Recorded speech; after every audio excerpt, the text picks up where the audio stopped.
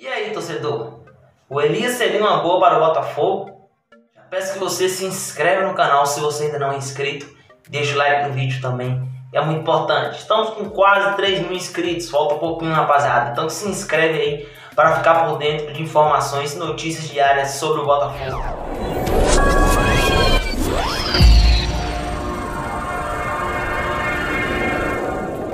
Informações apuradas pela Fox Sports e repassados pelo site Fogonet que o Elias foi sondado pelo Botafogo. O Elias que sua última passagem foi pelo Atlético Mineiro.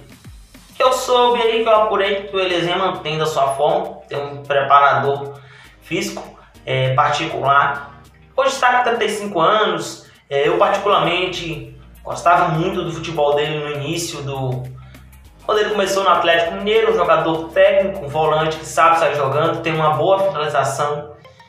Mas o que pesa para o Botafogo é a questão salarial. Não sei quanto é, ele pensa em ganhar. Também a idade também, né? A gente está tentando sair do Cícero aí.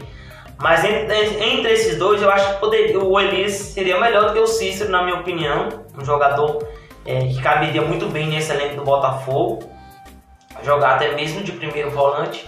Mas tudo isso tem questão.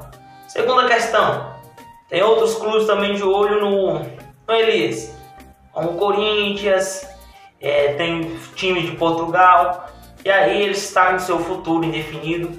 Informações próximas do jogador. Diz que ele está mantendo a tranquilidade ali, pensando muito bem nas propostas. Então, rapaziada, foi isso. O Botafogo sondou o volante Elias é, quero saber a opinião de vocês, o que vocês acham desse jogador.